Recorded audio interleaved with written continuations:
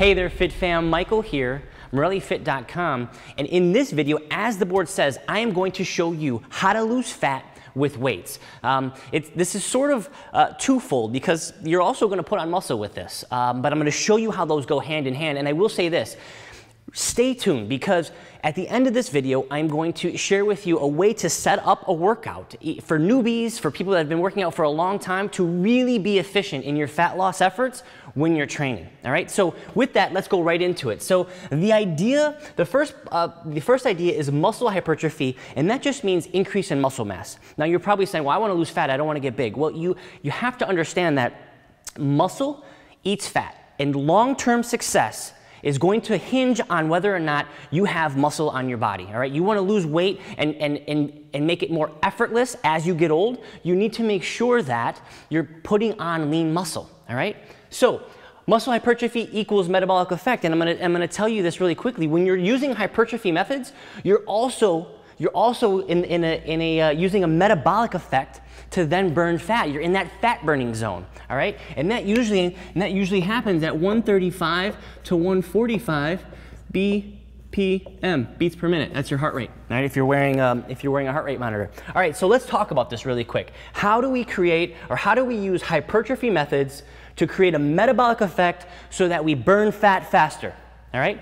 It's all about muscle tension and time under tension with the weights, all right? What do I mean by that? Well, I recorded a video and I told you that strength-based training is 0 to 20 seconds TUT, all right? You're training for strength.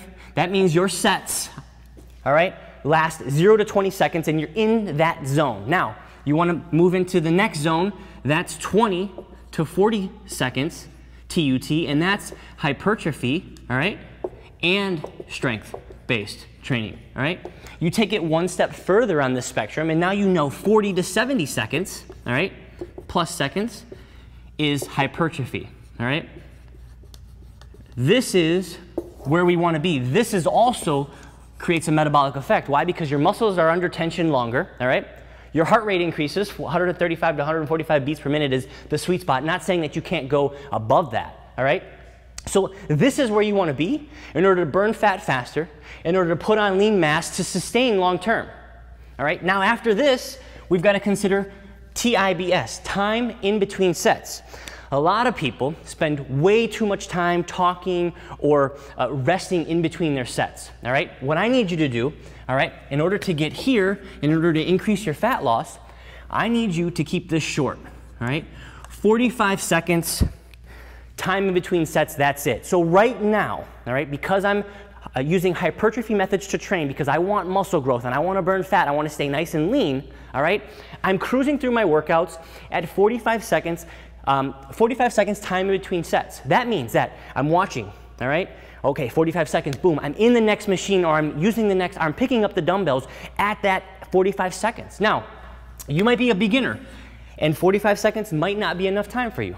So watch the clock, give yourself 60 seconds, play around with that. But two minutes, three minutes, four minutes, all of a sudden your heartbeat, all right, the uh, beats per minute drops, all right, you fall out of the metabolic zone and you're, and you're, you're not burning fat again. You're not burning fat anymore. So you want to stay here, all right? Now, what's an easy way to work out? You're probably, if you're just beginning or you're seeing this, you're like, well, I don't work out with weights because I don't know how. There's machines, there's cables, there's all kinds of gadgets. What do I do, right? What do I, what do I do? Well, you can essentially mix in uh, free weights, your machines, cables, anything you want. Set it up like this, all right? Really simple.